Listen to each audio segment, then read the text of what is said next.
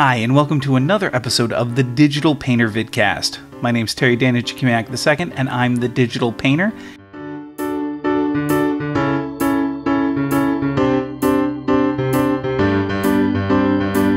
I want to welcome you uh, along on another trip as we delve into some digital painting. And this week, we're actually going to be answering a question that came up on YouTube recently. Before I go there, if you're brand new to the channel, make sure you hit the subscribe button. Also, uh, you can check out the website www.thedigitalpainter.com. That's where all of the old videos and blog posts and things like that are. Check them out. Uh, it's a yeah, it's a nice little site. I visit it often. um, okay, so a couple weeks ago, um, actually recently, the comment came up, but I posted video. Uh, actually, it was probably several months ago now that dealt with PaintStorm Studio, which is a fabulous uh, uh, digital painting program that isn't terribly expensive. And the question came in Did you figure out how the clipping masks worked? And at the time when I originally did the video on PaintStorm Studio, I hadn't had a lot of experience with clipping masks, and now I have due to actually Illustrator. So we're going to go back into that. So let's jump over into PaintStorm Studio. Here we are. Uh, let me get set up here. Uh, now, for those that don't know, I'm working on a Wacom Cintiq 22 HD, uh, and um, yeah, so I've got it open. Right now, I just opened up a new file and we're going to look at it. Now, if you're brand new to PaintStorm Studio, may I suggest that you jump back and check out some of the other PaintStorm Studio videos. But if you're not new to PaintStorm Studio and you own the program, then you kind of just need to really follow along. Now, PaintStorm Studio, I did a video last week on an update on it. Well, believe it or not, in the past week, there was another update. Nothing major, but I did want to point it out. Uh, one of the things that they did change is now when you add layers, you can actually click on a layer and drag it to its new position. You used to not be able to do that, so that's actually really nice. It's more like Photoshop, right? Okay, so let's look here. We've got two layers. On the first layer, we're just going to do, let me get a little, where's my pencil texture? We'll do a quick sketch.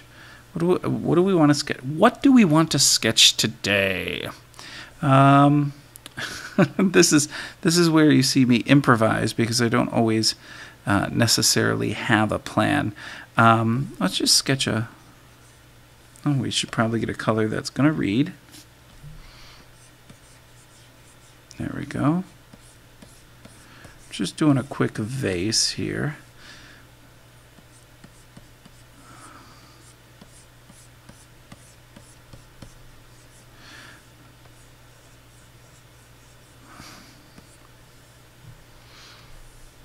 Now, one of the things uh, I um, I don't know all the shortcut keys for PaintStorm Studio because I I haven't been playing with it as much as I have in Photoshop. So you'll have to forgive me if there are a couple times I kind of go searching. Oops. There we go.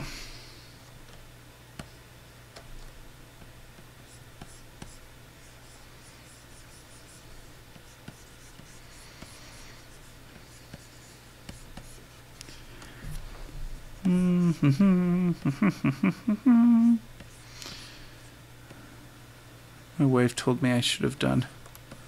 I should do a uh, an Easter egg, which isn't a bad idea, but I um I wasn't really feeling the Easter eggs. You know, I like Easter eggs. I like Easter, but I wanted to do something, I don't know, something like this. Boy.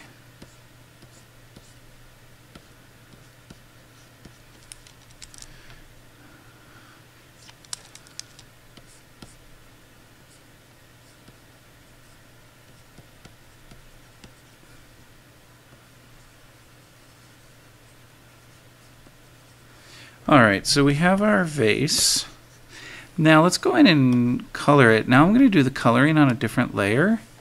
So my layer is added and as always I'm going to put my layer underneath my pencil sketch and let's see let's make our vase kind of we'll lay in this. We're going to use the classic transparency, I think. Or we could come over here. Let's see what this looks like. That's fine, we'll do this. I really do, you know, I don't play with the program enough, um, but I do really enjoy PaintStorm Studio. For the price, it really can't be beat. So if you're looking for, if you're looking for a, um, an affordable program, this uh, this is this is one of those. Okay. Just laying in some of my initial colors.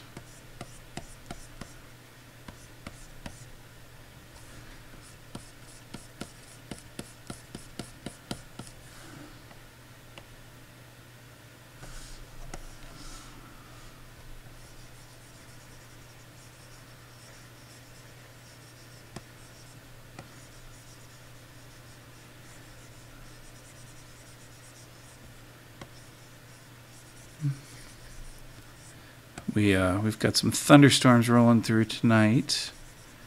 It's nice to be in spring. All right, so we've gone ahead. We've just got a base coloring of everything, nothing fancy. And what I'm going to do is I'm going to take this layer up here. And I'm going to move it down one. And I'm going to turn on the clipping layer. Okay, see how I've done that? Now what the clipping layer essentially does is anything that I draw on this layer, it clips to what is already down. So for example, I'm gonna do a quick pull of this color here, the purple, and take it darker because I want to do some shading, right? And you'll see here, I start to put in the shading, but it will not go out. It'll only go as far out as the initial purple went. See, I can't come down here. Now, I can, if I wanted to, color into the yellow, because that's there. I'm actually going to erase some of this that extended, because that extended. There we go. So essentially what it's doing is it's clipping my paint directly to the layer that it's quote unquote clipped to. Okay? Now, does that mean it's not like if I put down over here? Well, I'll show you. If I turn off the clipping layer, you'll see all of my excess marks are visible. Turn back on the clipping layer, and they're all gone.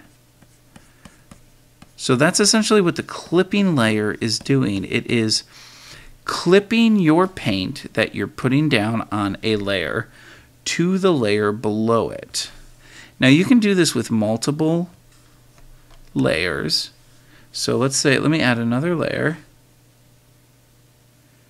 and move it down one. Now you have to be careful. So you notice there, now that purple is clipping to this empty layer here. So I'm going to put that back up. I'm going to turn this as a clipped layer on. And now this color will only clip where both of the previous are. So for example, there's it'll clip there or over here. So it'll clip on top of both of the layers that are below it. Okay, so I'm just to darken a little bit here.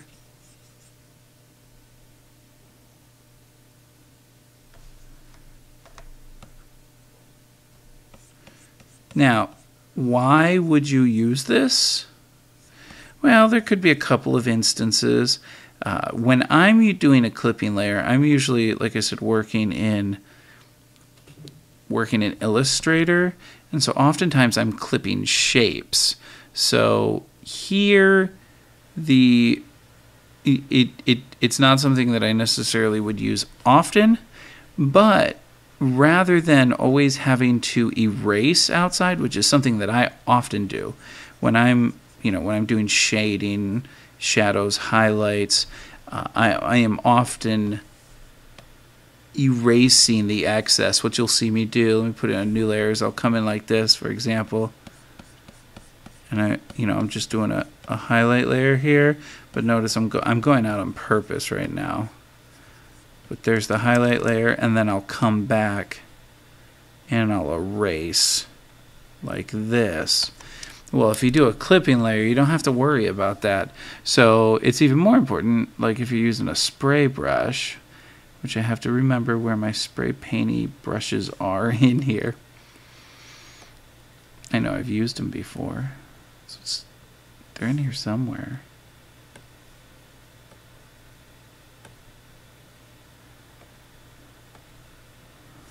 See, this is the problem when you don't use a program often enough is you start to forget where things are.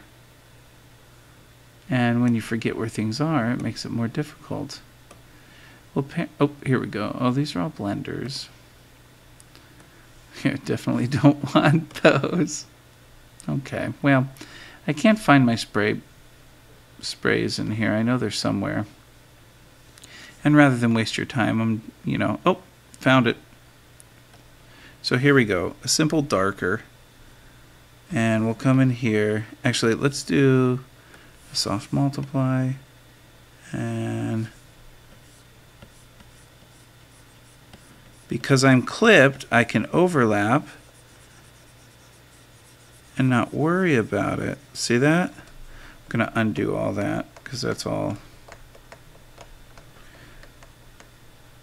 not what I wanted because it's a multiply. We'll just go just a color. Here we go.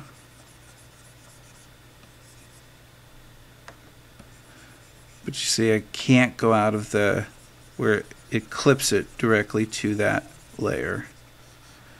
Now I can come up here and you notice I could do the whole thing in this purple. Very boring picture, but you get the idea. So that is what, again, this is the clipping mask over here, and I'm going to go ahead and unclip all these layers so you can see everything. That's what the clipping mask's for. Uh, like I said, really, if you're going to use it, you're using it in place of having to erase outside the lines because erasing outside the lines can become tedious, especially if you're doing something that's fairly um, detailed. And so you know, I would sit here on a regular drawing and I'd sit and I'd erase all of this because it would drive me crazy. But now I can just clip it. I don't need to erase it. Not necessary anymore.